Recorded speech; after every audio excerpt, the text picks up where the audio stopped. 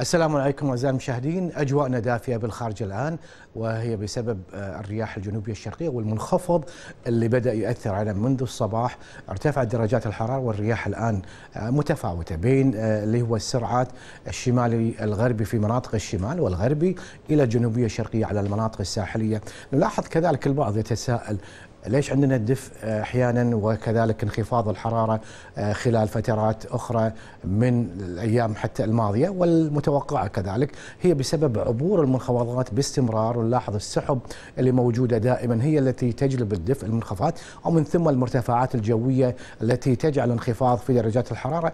المدينة دائما تكون أدفئ وهذا شيء طبيعي.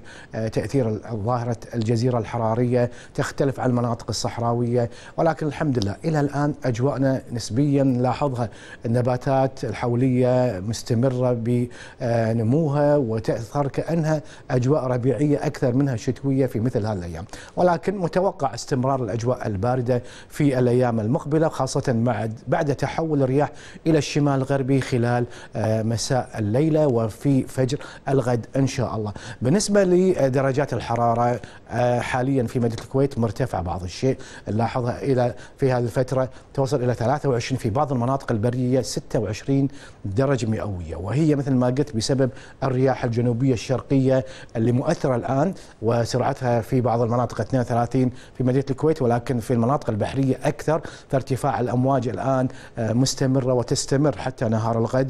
لذلك نحب ننوه لإخواننا الحداقة من تعديل البحر بأخذ الحيطة. إلى الآن الأجواء تكون غير مستقرة في فرصة أمطار وسحب إن شاء الله اتكلم عنها بعد قليل. الرطوبة النسبيه 65 وهي على ارتفاع بفعل الرياح الكوس الرؤية الأفقية 6 كيلو ومتفاوتة بين 10 و12 و6 كيلو. الرؤيه الأفقية في منطقة إلى منطقة أخرى بالنسبة للرؤية الأفقية. السحب نلاحظها ظهورها واستمرارها هو الذي يجلب الدفء أحيانا في منطقتنا واستمرار المنخفضات الجوية. والآن نلاحظ تكون هذه السحب تدريجيا على المناطق الوسطى في المملكة العربية السعودية وكذلك شمال غرب وغرب المملكة فمتوقع أن تتحرك هذه السحب وتكون الأجواء غائمة جزئيا إلى غائمة إن شاء الله في فترات المساء، نلاحظ المنخفض الجوي اللي سوف يؤثر علينا خلال صباح الغد والأمطار التي تتحرك سريعا إلى الهضبه الايرانيه وشمال الخليج العربي ويبدأ المرتفع الجوي يجعل انخفاض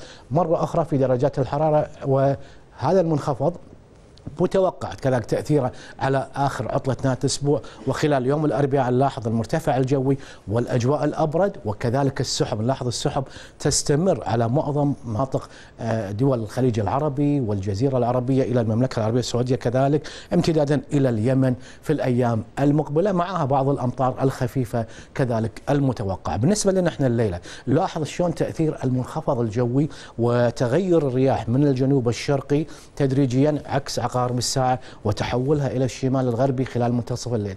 لذلك الفرصة إن شاء الله موجودة لأمطار متفرقة تكون من المناطق الشمالية الغربية من الكويت كذلك تستمر على أجزاء من مدينة الكويت والمناطق. لكن أكثر الأمطار تكون من بعد منتصف الليل إلى الفجر. يعني معظم الإخوان اللي خلال الصبح تبدأ اللي هي توقعنا للأجواء كذلك مثل ما نلاحظ درجات الحرارة تكون شوية أعلى من الأيام الماضية بفعل الرطوبة النسبية التي راح تظل مع انخفاض الرؤية.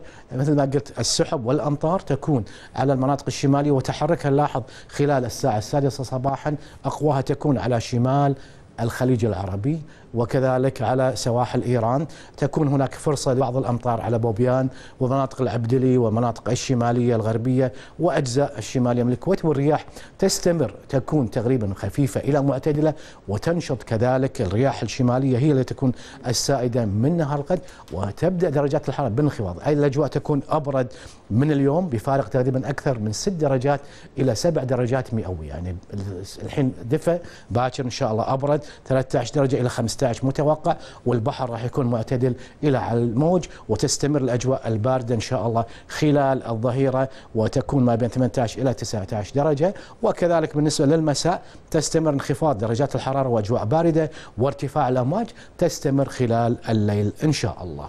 أما بالنسبة حتى البحر فيكون معتدل إلى على الموج حتى نهار الغد الساعة الحادية عشر 33 مساء الليلة ليلا تكون المد الأول المد الثاني الساعة الواحدة 59 ظهر الغد والجزر السابعة ونصف ونصف إن شاء الله صباح الغد والجزء الثاني الساعة السابعة تقريبا مساء الغد إن شاء الله. شروق الشمس وأذان الفجر في الساعة الخامسة ودقيقة التاسعة عشر والشروق السادسة 43 الخامسة ودقيقة الخامسة إن شاء الله راح يكون بإذن الله غروب الشمس لنهار الغد والأيام المقبلة نلاحظ الحرارة شوية مرتفعة نسبيا اليوم.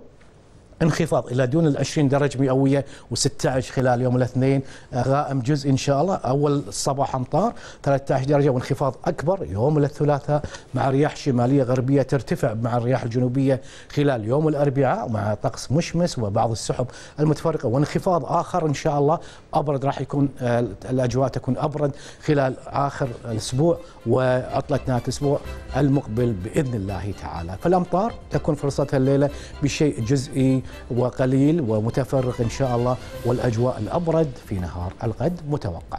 تنتهي النشرة درجات الحرارة المتوقعة في العواصم العربية والعالمية. تابعوها معنا الشاشة والسلام عليكم.